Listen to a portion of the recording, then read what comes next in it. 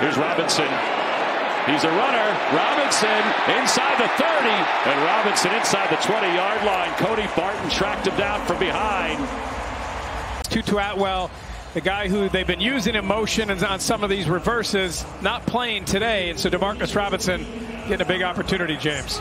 Eric Yarber, who is the wide receiver coach, told me, he said, when we play, everybody plays, but everybody blocks. And right at the beginning of that play, Cooper Kupp. On third down. Stafford to the middle. He's got Kupp. And Kupp inside the five, and he's down close to the one. And then he comes out. There's the choice route I talked about. He can go either way, sets the defender up, comes back inside. Davis Allen in motion. They give it to Williams. Williams nose to the goal line. He's in. Touchdown Rams.